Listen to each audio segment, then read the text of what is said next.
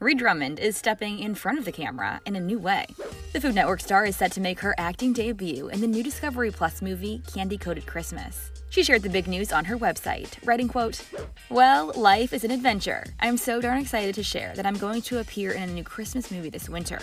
To say this has been a highlight of my year, my life, is a huge understatement. Lots of smiles." Ree is slated to play a fittingly cheery owner of a bakery in the fictional town of Peppermint Hollow for the holiday flick, which marks the first original film for the streaming service. She admitted that when she was presented with the idea of joining the cast, she was a little unsure, saying, quote, I am not an actor, and I have no aspirations to be an actor, mostly because I can't act, haha. Just a small detail there.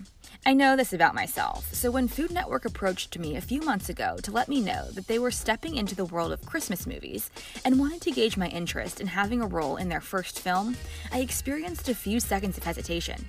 But once she moved past the nerves, she got into the spirit, writing quote, I came to my senses and thought, it's a Christmas movie, no way am I passing this up.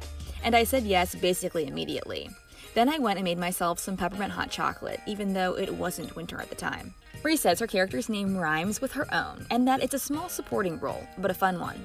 The film is about a Los Angeles based marketing executive played by Molly McCook, who arrives in her late mother's hometown, where she is befriended by bakery owner Bea, who gives her a warm introduction to the peppermint capital of the world. The pioneer woman celebrated her achievement, saying, quote, I'm amazed I didn't faint like you see happen in occasional wedding videos where a bridesmaid goes down.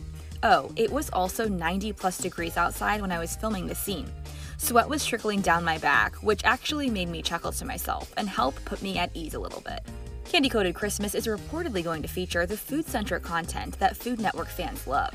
As for her performance, Ree joked that this may be her first and last time putting her acting chops to the test.